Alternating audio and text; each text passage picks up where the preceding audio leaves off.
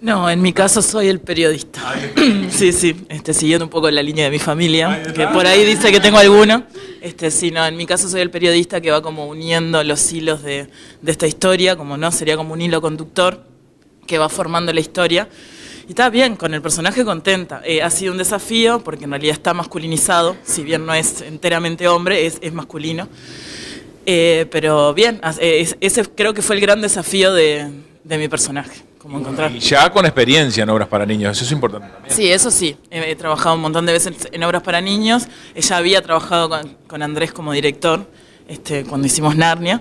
Este, y bien, me, me, encanta el público infantil, pero ta, tiene eso que decía Andrés, este, ta, es muy sincero, y, pero bien, está bueno.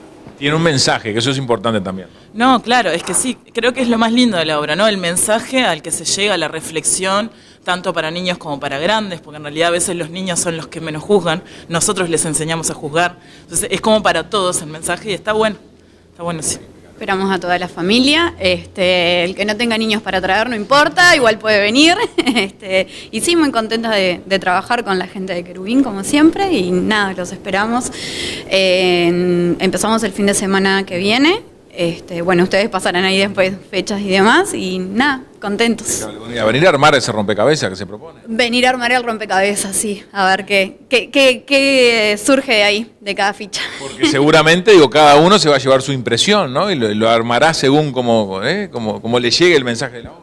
Por supuesto que sí, por supuesto, y, y, bueno, y ver si, si podemos romper un poco con esos estereotipos de, de personajes que a veces este, desde la infancia no, no nos vienen este, enseñando trayendo.